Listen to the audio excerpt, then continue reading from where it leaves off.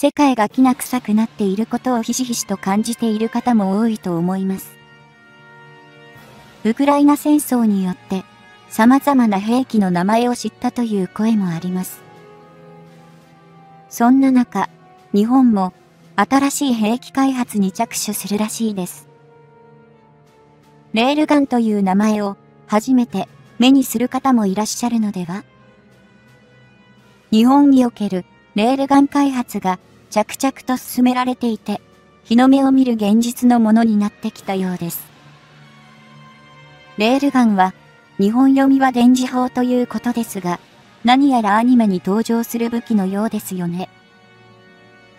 この電磁砲が完成すれば、極超音速ミサイルに対抗する手段が得られることになるそうです。とはいえ、問題点も存在します。それは、小型化と省電力化の2つ。今回は、日本のレールガン開発に65億円の予算が計上されたこと、現在の進捗状況について解説していきたいと思います。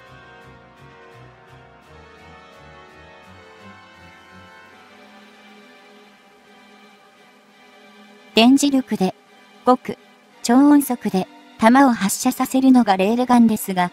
防衛省は2022年度防衛予算で研究開発費に65億円を計上すると決定しました。それだけではなく、ゲームチェンジャーになり得る兵器の早期実用化に向け、予算として盛り込まれた84億円の一部を、このレールガンの電源開発費に充てるという決定もなされました。このレールガンは、2027年、令和9年をめどに試験運用を開始する予定になっているそうです。レールガンは EML、 Electromagnetic Launcher とも呼ばれていて、日本における呼称としては、電磁投射砲や電磁加速砲ですが、ゲームや漫画など、多くの作品に登場しました。レールガンの原理は至って単純で、電気伝導率の高い素材で作られた2本のレールの間に玉体を置き、レールに電流を流して磁界を発生させ、玉体を移動させて発射するという仕組みです。この原理は一般的にフレミングの左手の法則に基づくものと言われています。学校の物理の授業を思い出しますね。現在の火砲の仕組みは火薬の爆発力を使って弾体を打ち出してターゲットに当てるようになっています。しかし、実は火薬の爆発燃焼で発生する熱エネルギーのすべてを弾体の発射エネルギーに使うということは不可能なのです。この方法は効率が悪いとされているのだとか。それだけでなく、弾体の発射スピードは火薬の燃焼ガスの膨張スピードより速くはならないので、最大の爆発力という最新火薬を使ったとしても、弾体の発射スピードは 2000ms、約マッハ5.9が限界と言われているのです。そういった火砲と比較すると、レールガンは実験段階においてさえ、それを上回っているのです。現在のレールガンの最大発射速度は、マックス 8000ms、約マッハ23.5で、防衛装備庁が今まで試作したレールガンでも、ほぼマッハ7に近い速度である 2297M、S を記録しているといいます。つまり、近い将来には、極、超音速ミサイルなどものともしない高速度を叩き出すレールガンが、日の目を浴びるようになると、断言していいでしょう。アメリカ海軍の研究によれば、レールガンは 200km 以上の長射程射撃が可能で、極超音速兵器に対する対抗兵器としても申し分のないものと思われます。また、レールガンは理論上連射もできるので、火砲やミサイルと比較しても有利なポイントと言えましょう。それだけではありません。射撃装置が軽量なので、艦船などへの搭載も可能で、発射装置や弾体の経費が大幅に低減できることなどもメリットですね。つまり、地上の移動車両や海上の艦艇にレールガンを多数配置しておけば、現状の対空ミサイルによる防御網よりはるかかに優れた鉄壁と言える布陣を敷けるということになるのです。コスト的にも、一発数億円かかるミサイルに比べれば、低コストですから、国家予算のやりくりに悩む日本にとっては、これもメリットの一つと見られます。とはいうものの、レールガンにもデメリットがあります。その最大のものが、弾体を極超音速で発射するためには、膨大な電力が必要ということです。アメリカを例にとると、レールガンは、一発の弾体を発射するのに、25メガワット、2500万ワットの電力が必要と見込まれているのです。海地が誇る出雲、片越栄艦の発電量は1360万ワットですから、この点を考えると、レールガン搭載には、専用の発電機が必須ということがお分かりでしょう。この点は、アメリカ海軍の原子力空母ニミッツ級はクリアしているようです。というのも、ニミッツ級は約4億ワットという膨大な発電量を誇り、レールガンの連続発射も可能なのです。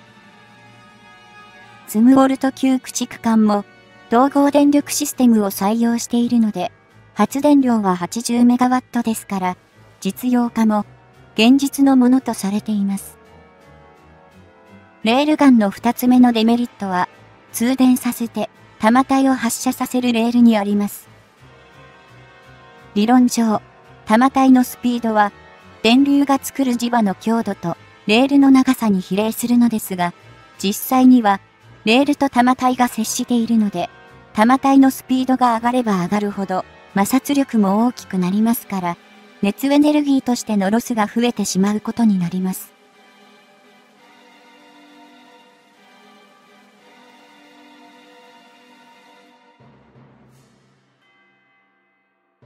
また、摩擦によるレールの摩耗も大きな問題ですから、現状の素材を使ってのレールガンの連射は困難となります。電動性が良くて摩耗にも強い、そういった優秀な素材の開発が、この問題解決には不可欠でもあり、急務というわけですね。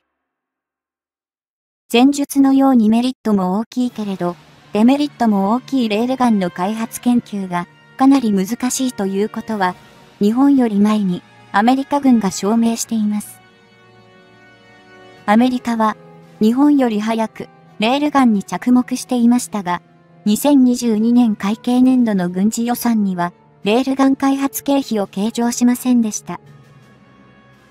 世界でも屈指の技術力を誇る軍事大国アメリカが諦めたレールガンを日本が完成させることはできるのでしょうか？2022年度防衛予算への防衛省が研究開発予算を計上したと発表した際にはいぶかしむ声が上がっています。ただし、アメリカはレールガンの開発が不可能だから断念したわけではありません。現時点において、超高速飛翔体を下方から発射しても、効果はほとんど変わらないと判明しているので、高電力発電機を開発してまで、艦艇に搭載する意味がないことを鑑みてだ、今は完済することを諦めたと考える方が正しいと思われます。あるいは、着々と軍備増強を行っている中国への対抗として、予算を回して、発電装置や蓄電池技術など、アメリカよりも優れた技術を持ち、耐熱素材の開発でも進んだ技術を持っている日本に、レールガンの研究開発を委ねたのではないかという推理も見受けられるようです。これって、アメリカが日本に開発させて、完成したところでいいと、小取りするつもりじゃないでしょうね。と、アメリカに対して、疑心暗鬼になってしまうのは筆者だけでしょうか経済的問題を常に抱えている日本としては、一発数億円以上の対空ミサイルを何発も発射して無駄にする状況を止め、連続発射可能で、経費の安い弾体を発射できる、レールガンの開発を進める方が、将来的にはメリットがあると感じたのでしょう。レールガンは、極、超音速飛行体を迎撃するためにだけ使われるわけではなく、用途は幅広いと期待されているようです。防衛省では、敵艦艇や地上目標に対する攻撃にも活用できると見込んでいるようですね。防衛省は、令和3年の事前の事業評価を発表しましたが、その中の将来レールガンの研究に、極、超音速誘導弾への対処として、レールガンでの対空防衛に言及しています。他にも、艦艇、または地上目標に対する回避困難な打撃を与える兵器として紹介されていますから、前述の証明となるでしょう。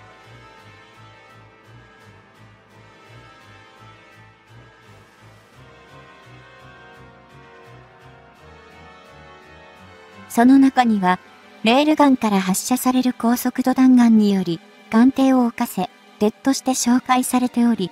迎撃用対空ミサイルなどによって、亜音速の対艦ミサイルは、撃ち落とされる可能性が高いのですが、長射程で高速で発射される小さな弾体は、防御兵器で撃ち落とすことは難しいとされ、動きの鈍い艦艇では回避も困難なので、艦艇には有効な攻撃ということになります。